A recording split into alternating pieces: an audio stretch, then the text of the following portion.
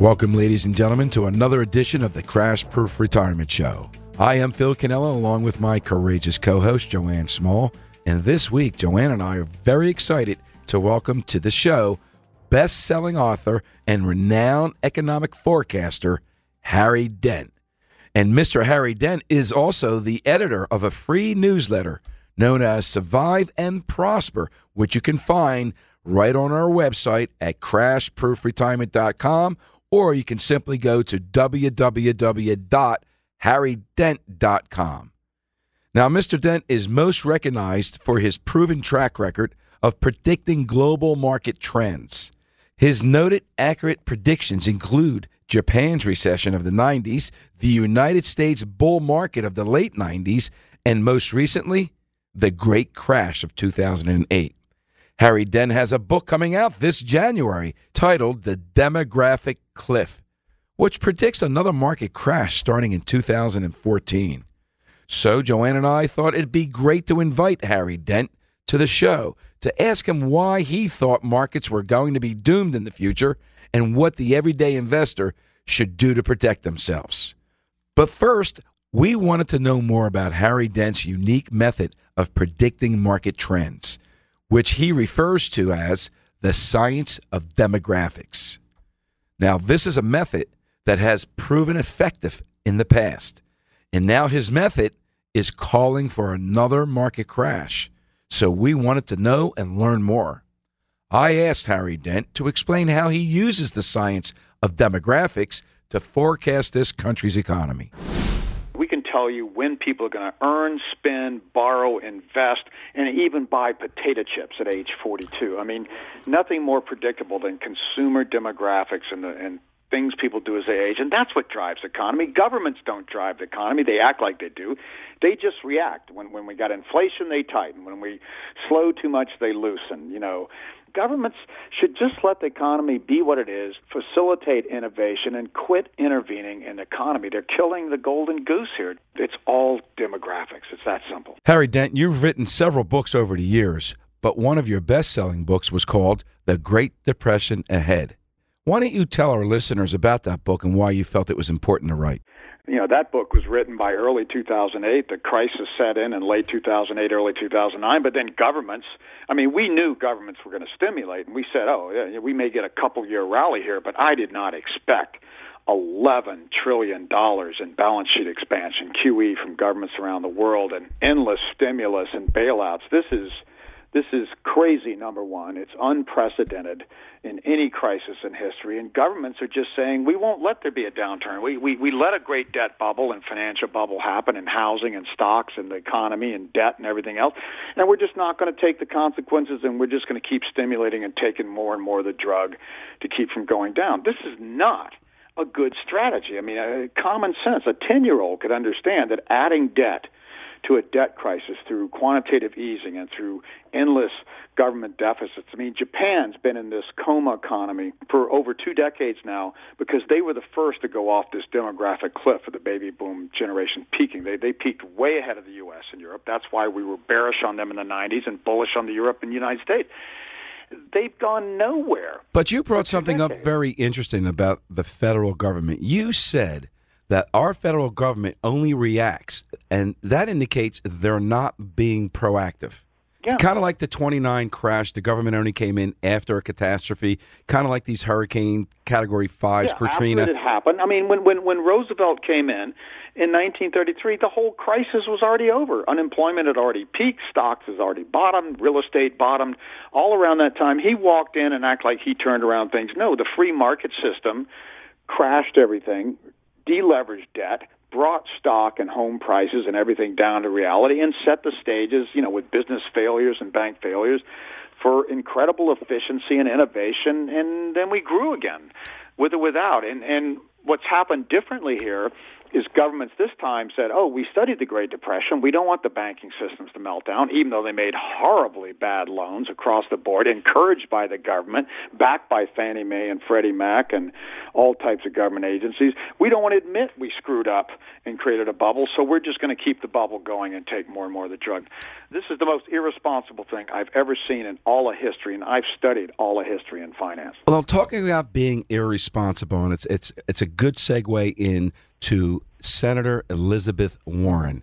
I think she puts it so elegantly and so accurately. I'd like you to listen to a soundbite of Senator Elizabeth Warren, where she is on CNBC talking to some of the analysts, and I believe she lays it out very, very nicely about how they deregulated and what it did to these industries today. Listen to the, here's Senator Elizabeth Warren.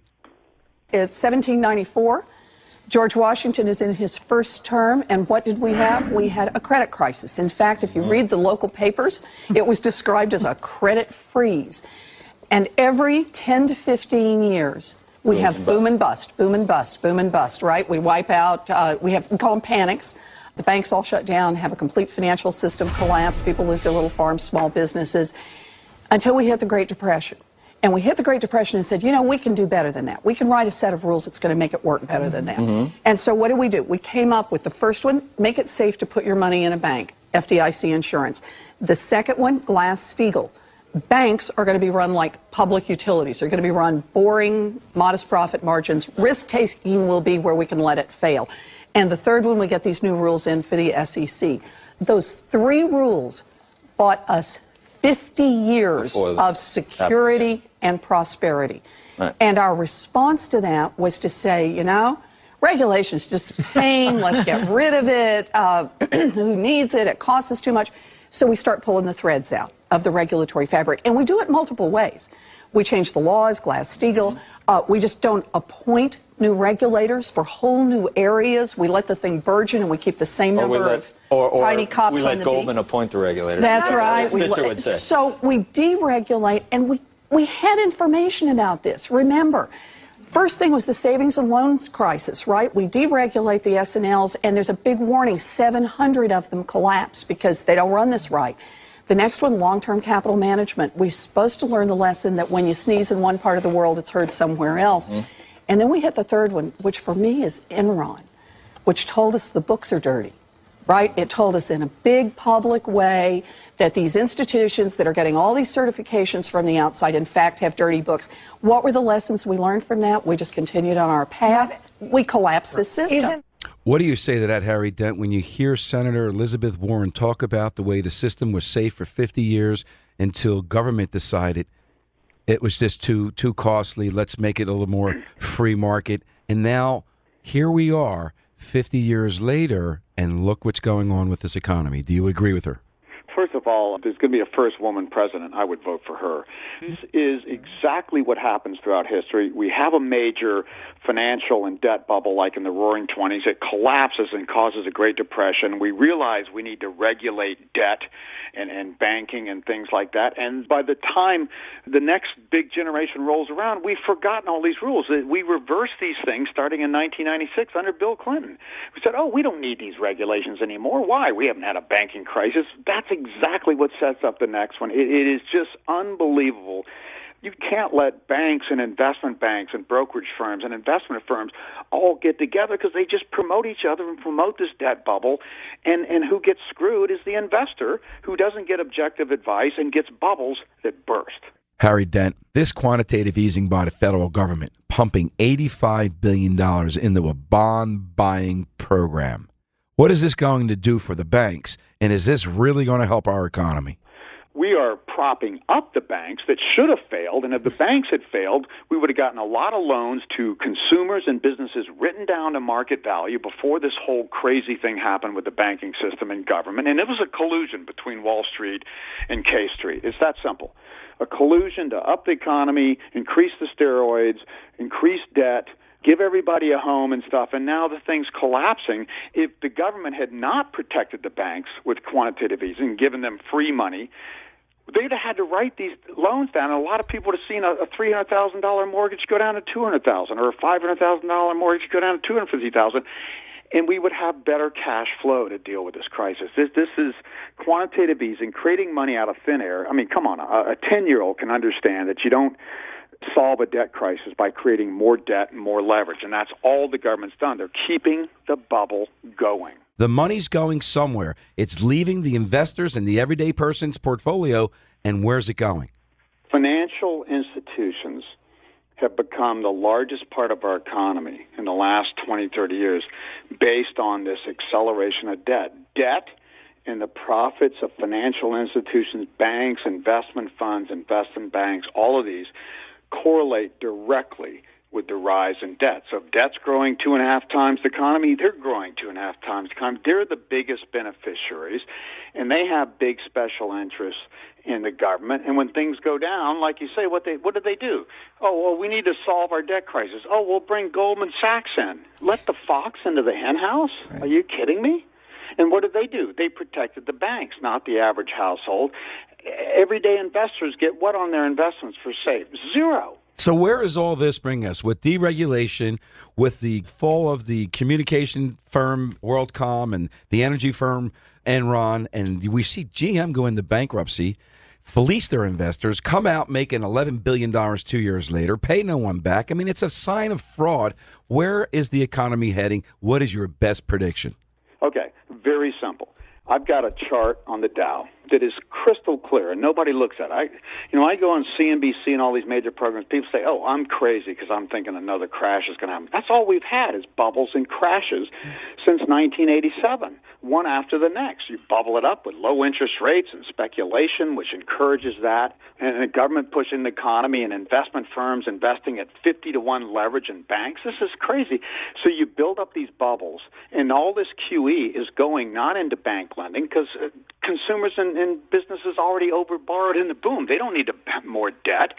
It's going into investment speculation. So we got a bubble in the Dow. Every bubble has gone higher. 2000, 2007, and now 2013, and every mm-hmm. crash has gone lower. I'm predicting the Dow's going to go up to about 16,000 to 16,700 by early next year, and then crash to 5,800 by 2015 or 16 higher highs, lower lows, because these bubbles especially this last one, is all on stimulus. At least the last two bubbles before this were based on demographics and mm-hmm. technology advancements, but this is pure government stimulus. 2 trillion a year on average between quantitative easing, monetary injections, and fiscal deficits. Two trillion a year to create 350 billion in, in GDP at two percent growth. This is a horrible ratio. Now, Harry Dent, to support that theory that you just said, since 1929, there's been 18 major crashes, which means it's a cycle. Every five years or so, the markets have a crisis. And what you're saying is each crisis, the bubble gets a little bigger and the crash gets a little worse. Am I understanding you right? Yeah, and, and on top of that, every 40 years, when a generation peaks in spending, like 1929 and 68, and now 2007, these cycles get more dramatic in the topping. I mean, from 65 to 72, we had three higher booms in the stock market and three bigger busts into 74 and eventually into 82 and, that, and that's what's happening here so it's the same thing happening again 40 years later and economists have no clue they don't know what drives the economy. They think if they keep interest rates at this or that, us consumers will just spend more money. We spend more money because we're raising our families and earning more money, and and that slows in the mid 40s to the early 50s, and then it drops off like a rock. Well, let me ask you this, Harry. Harry Dent, let me ask you this. With the next market crash, do you feel that it's going to be a world event, a world crash? And if oh, so, absolutely. what will that mean? The last one was four states in the United States had a subprime crisis. It, it really narrowed down California, Arizona, Nevada, and, and, and Florida. And that set a whole global crash in stock markets and in a lot of real estate markets around the world going down sooner or later. The same thing. I mean, it's not just us. Europe's stimulating wildly. They have even worse demographics than we do in the future. China is the biggest bubble in the world, totally government driven, with no accountability, and all these things are going to burst. So, all it takes is a trigger when the economy is already overridden with debt. Things are going to go down. It's just a matter of when the government stimulus policies fail because demographics keep getting worse. They're, they, you know, Europe is in deep trouble And they haven't gone off the demographic cliff with the baby boom yet. They're going to go off starting next year. Japan went down first in the 90s and then us in 2008. Europe is next and then south the rest of East Asia, Korea, Taiwan, Singapore. Next the whole world's going to go down. And governments are acting like, "Oh, if we just get over this little banking crisis, we'll get back to normal." There is no getting back to normal. Why why do you think Harry Dent government is in denial with this? because they're the vested interest. They Agreed. don't create this bubble. They don't want it to burst. They're going to look like idiots. No central bank head, no politician like Obama or George Bush wants this to go down on their watch, so they keep kicking the can down the road. I mean, again, $2 trillion a year? For somebody to tell me we have a sustainable recovery, and I say, wait a minute, what would it be without this 2 trillion? It would be a deep downturn. I mean, this is obvious. A 10 year old could see this. Harry Dent, do you think that Wall Street has a fiduciary responsibility to the everyday investor? you know, I got my big start with the great boom ahead when I predicted the 90s boom in the early 90s when nobody thought it was going to happen. By 1995, stockbrokers, mutual funds were running at me. I was lecturing this industry, and I kind of realized that most stockbrokers and mutual fund firms they don't care about their clients. They're in collusion too. You know, the mutual funds really kind of butter up the stockbrokers and bring speakers like me and take them on golf trips and dinners and wine and stuff, and they just pick the fund that's either in their firm or the one that butters them up the most. They're not representing most investors fully. Some, a, lot of them do, and we have a lot of financial advisors in our network that do, but most don't. They're just salesmen. And as long as the boom's going and the bubble's going, they're going to sell, sell, sell, tell you no problem. And then they're going to say, oh, we got you diversified and if things crash, you'll be okay. Well, in 2008 9, everything went down. When, when a debt and financial asset bubble burst, everything goes down except for cash, safe bonds, and the U.S. dollar, by the way. So you have to protect your assets in this next crash. And I think 2014 and 15 is the next big danger period from our cycles. This bubble has been created by the government, has been pumped up at unprecedented levels, but it's getting to extremes. And you know what? Just when people get comfortable, people are finally, they were skeptical of this bull market Mm-hmm. in the beginning and everyday investors. Now everyday investors are jumping back in. Mhm, like they did in the late 90s, just like they they did in the late 90s Mhm. and they did in 2006 and 7 Mm-hmm. just to get crucified again you have you have to say look this bubble has created great gains for most investors you got to protect what you have before things crash again because they are going to crash Do you think any one person can control a market or a sector of the market? Some degree Okay. Um, Before you but- go but- on, but- I'd like you to hear a little soundbite. This is a popular advisor. His name is Jim Cramer. You can see him on CNBC. Oh, yeah. Prior to Jim Cramer being on Mad Money, in 2006, we found a lost interview on the internet. I'm going to play it for you and our listeners, and I'd like to get your comment. But before I play it, I'd like to tell you what you're going to hear so when you hear it, you absorb more of it. He talks about how he manipulates and controls the market by taking a short position, buying a stock to go down. He says that to do that, you have to create a fiction. You don't want to say anything remotely true, and you do it because the SEC doesn't know the difference and doesn't understand it anyway. And he says it's very satisfying, but he would never say this on TV. Here's Jim Cramer from Mad Money. You know, a lot of times when I was short at my hedge fund and I was positioned short, meaning I needed it down, I would uh, create a, a level of activity beforehand that could drive the futures. Now, you can't create an impression that a stock's down, but you do it anyway because the SEC doesn't understand it. You've really got to control the market. You can't let it lift. And It's really important to use a lot of your firepower to knock that down because it's the fulcrum of the market today. What's important when you're in that hedge fund mode is to not do anything remotely truthful because the truth is so against your view that it's important to create a new truth to develop a fiction. I think it's important for people to recognize the way that the market really works is to have that nexus of hit the brokerage houses with a series of orders that can push it down, then leak it to the press, and then get it on CNBC. That's also very important. And then you have a vicious cycle down. It's a pretty good game. Okay. By the way, no one else in the world would ever admit that, but I can care. That's right. And you can say that here. I can't. I'm not going to say it on TV. Does honesty cost too much to Wall Street? Well, yeah, it does. But I mean, here, here's the greater point Jim Cramer alone cannot move the markets past a point, but all these hedge fund managers and, and investment banks who are investing only because the government allows it collectively have way more impact on the markets than they used to. And and the everyday investor doesn't have a chance because they just short the markets when things go up and everybody gets in and then they scare everybody out just like he's talking about and then they reinvest again. Yep. they are just like wolves killing rabbits that's Harry Dent, the editor of the free newsletter Survive and Prosper. Harry Dent has successfully predicted in 1992 the late 90 boom and also the 2008 crash. Harry, Joann, and I had the opportunity of going to Washington, D.C. to talk to then the Inspector General of the Security Exchange Commission, H. David Kotz. And we asked him to explain is shorting a stock, taking a short position on a security, illegal? Here's H. David Kotz, then the Inspector General, and his reply. There is an appropriate way to short stocks. I mean, you can certainly uh, legally say you believe a stock's going to go down and, and uh, you know bet on that in the market. But if you manipulate the stock by propaganda or by rumors, um, then that, that can be illegal activity. Isn't that exactly what Cramer did by manipulating the stock by rumors and propaganda and leaking it out to the press and CNBC? Isn't that illegal? And why is it that this guy is now the cheerleader to tell people where to buy and sell?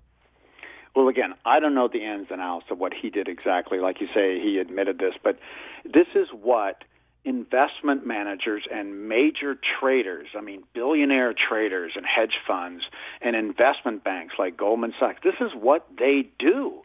They they sell credit default swaps, you know, to all their investors, and then they short them when they get overvalued and crucify the same people. But isn't that it, not that a form of fraud? From my point of view, isn't that a fleecing? Isn't that fraud?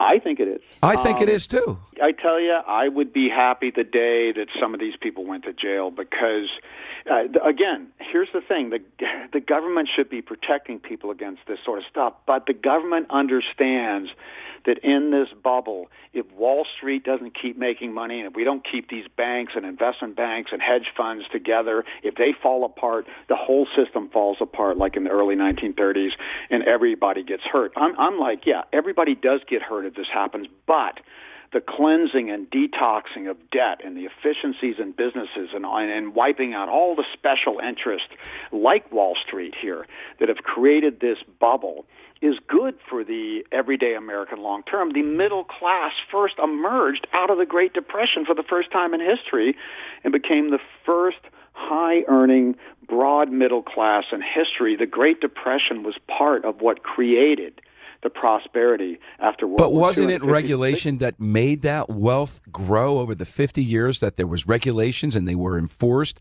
Isn't that what happened? And then they deregulated and it's taking it yes, back. Yes, yes. I mean, again, overregulation is bad. Overly complicated regulation is bad. But no, you have to have rules and certain regulations in any free market economy because otherwise the 800 pound gorilla, the mafias will emerge, the Wall Street groups, the special interests will emerge for the most money and rig the markets in their own favor. So you have to have regulations and you shouldn't back off on them after 50 or 60 years.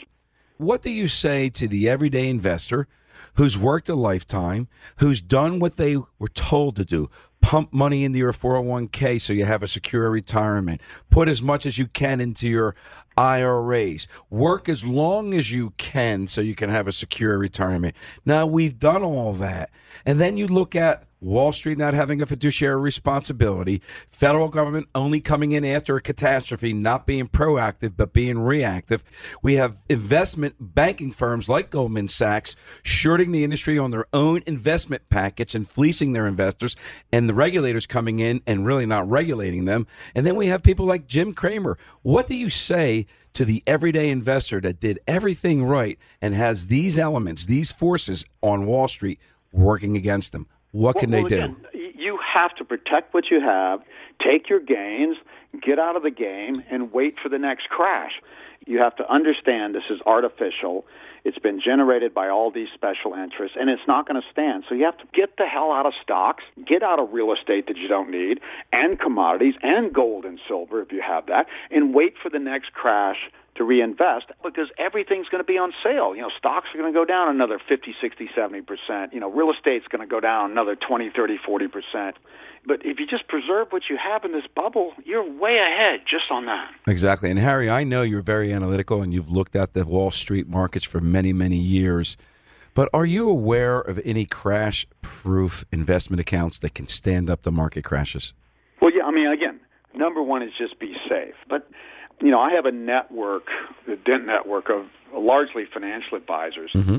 And and the best advisors, they use insurance-based products because you can defer or avoid taxes legally if you invest long term and insurance companies have ways to protect your gains from certain losses and the fact that these insurance companies invest largely in bonds that do well in deflationary periods. Insurance companies were the only part of the financial uh, industry in the 1930s that did well. Stock brokerage firms, banks, investment banks all went bust. Have you ever heard of a financial life insurance company filing bankruptcy. Why is it that these financial life insurance companies can cover these category 5 hurricanes like Katrina, Hurricane Sandy and Andrew, but yet we don't see Nationwide folding their tent and going out of business, but we see Lehman Brothers, Bear Stearns, Fannie Mae, Freddie Mac go out of business.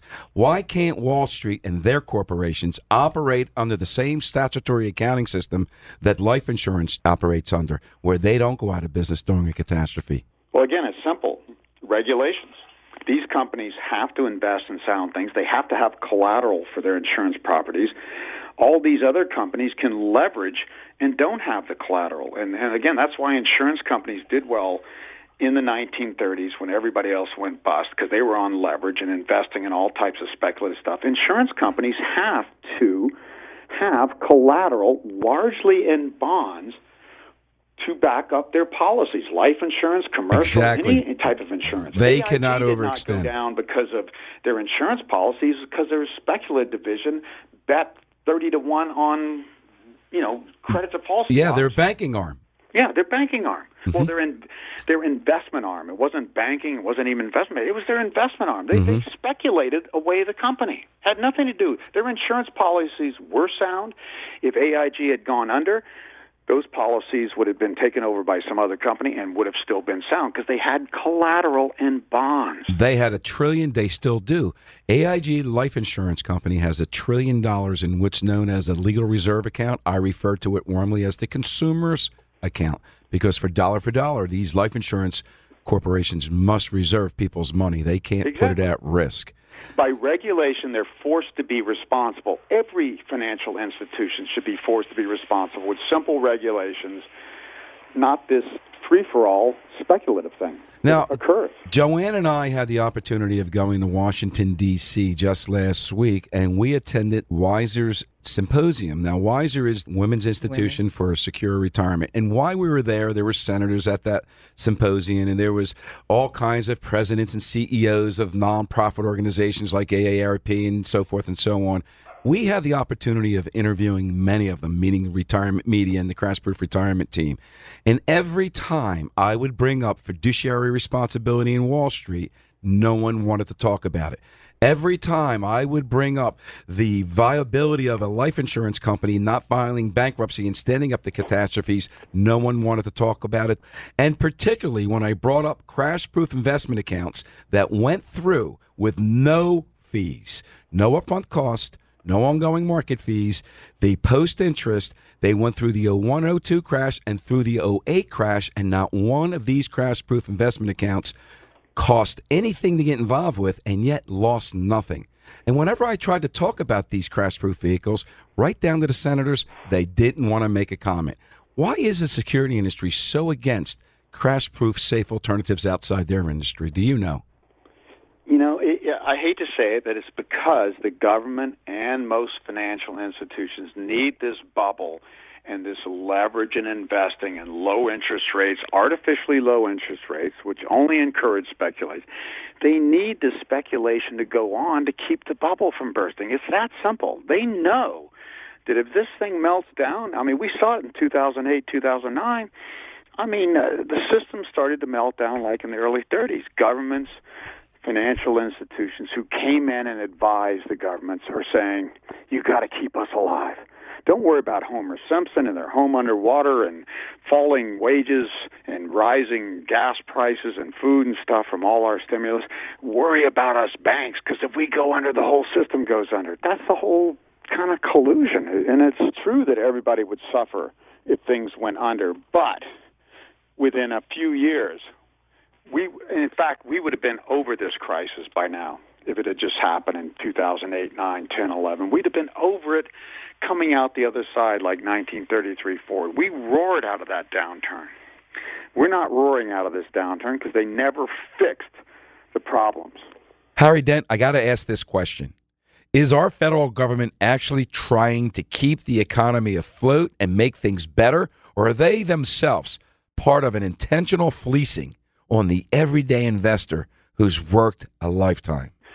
They think they're trying to keep afloat. They think they're trying to keep the next depression from happening. They don't realize that the natural cycles in our economy, the free market systems, need booms and busts. They need inflation. Inflation encourages innovation. Deflation encourages innovation. If you don't have these down cycles like the 70s and the 30s and now, you don't keep creating innovation and growth, they're killing the golden goose. They're not intending to do this, but that is exactly what they're doing. They're killing the golden goose and and they're preventing the natural systems from creating growth again.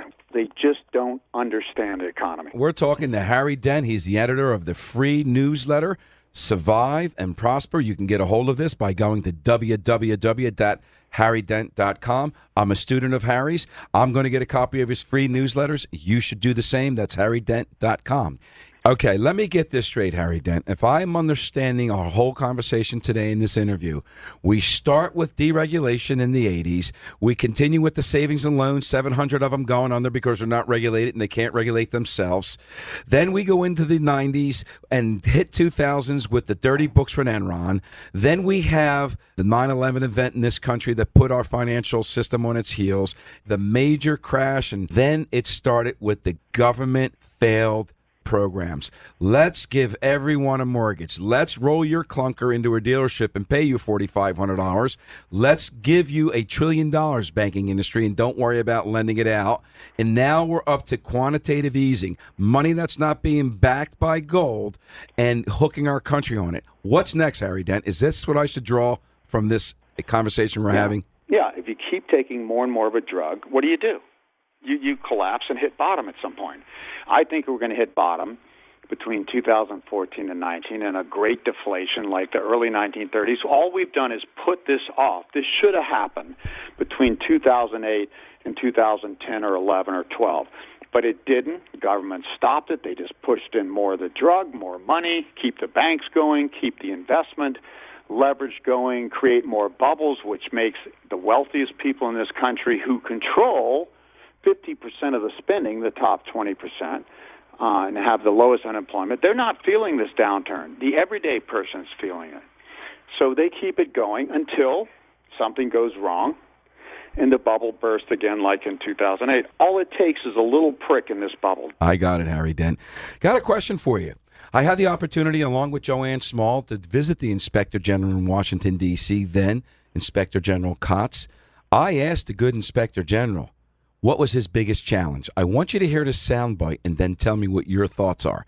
Here's Inspector General Kotz, who resided at the SEC from 2007 to 2012. And the question was what is your biggest challenge while you're here at the Security Exchange Commission?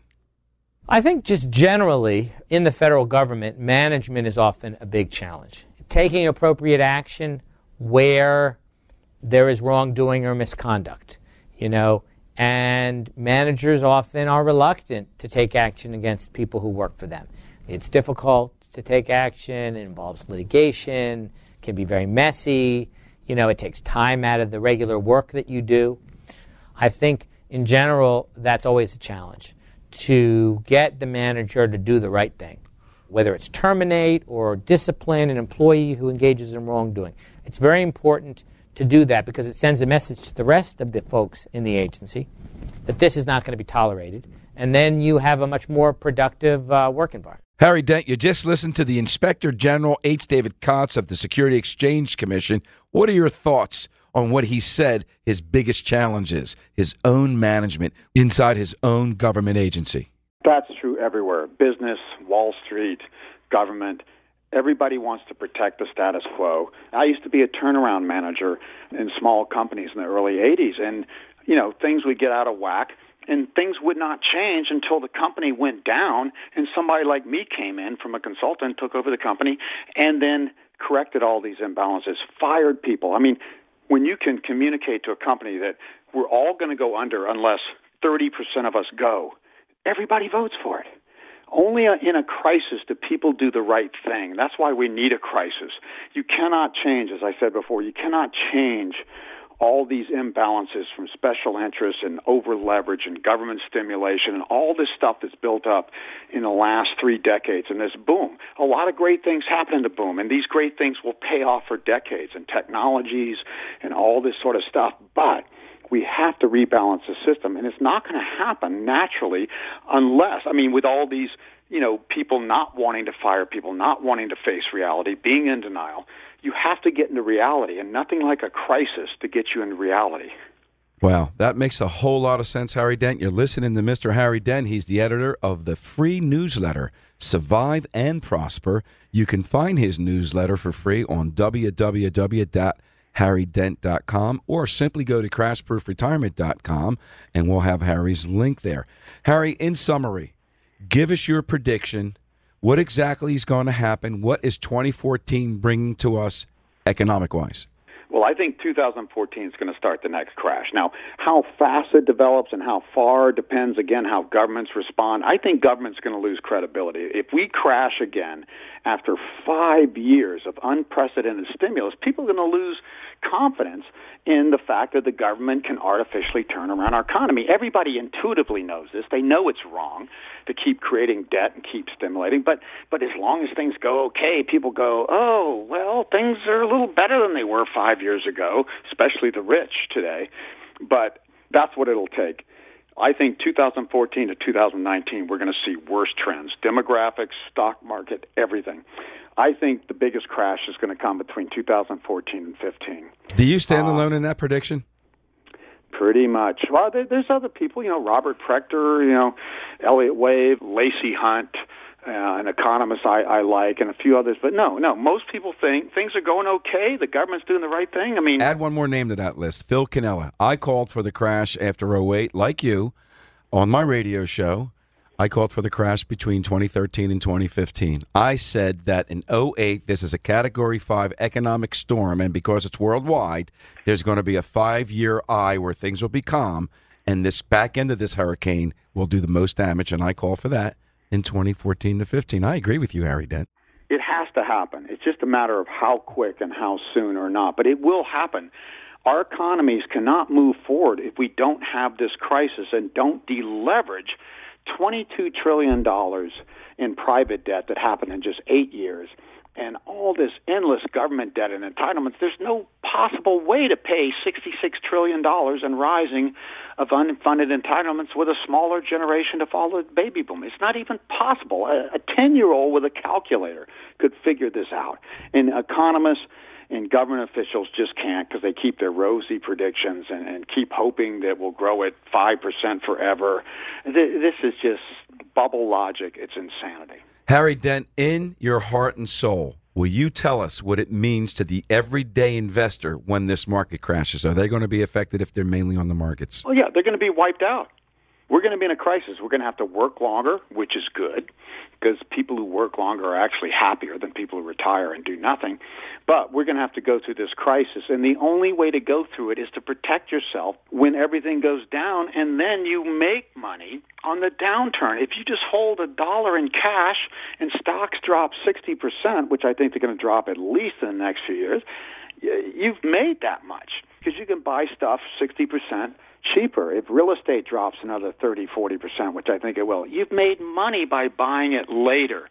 So just protect your capital and look to reinvest every time things go down. That's the only way to play it. Harry Dent, I want to thank you so very much on behalf of our CBS Radio Network listeners on giving us some insight on where you think the economy is headed and what the federal government is doing to the everyday investor. But before I do let you go, Harry, can you tell us what you're working on right now? You know, I have a new book coming out, The Demographic Cliff, on January 7th, just a few months from now.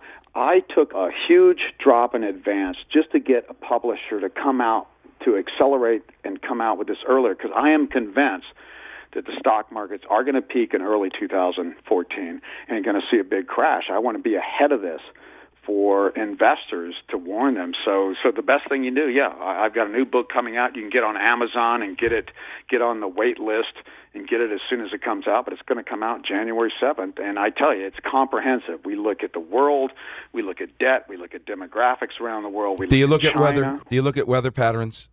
You know what? I do look at sunspot cycles. Uh-huh. One of the biggest cycles in the stock markets has been rising energy from the sun in, in, in 10 year cycles and then declines. And the next decline, guess what, is due 2014 to 2019. Wow. It all starts to line up, doesn't it? Yeah. We're listening to Harry Dent, editor of the free newsletter Survive and Prosper. You can find Harry's newsletter on www harrydent.com, and it is free. It is filled with information that could help you, that could get you through retirement rather than just making it to retirement. Harry Dent, we all really enjoyed this conversation, your insights, and some of your predictions of what you feel is going to happen. Thanks, Harry. Thank you. Okay. All right. Good luck to you, sir. Bye-bye. Bye. The Crash Proof Retirement Show has been a production of RMI, Retirement Media Inc. Truth for the American Retiree.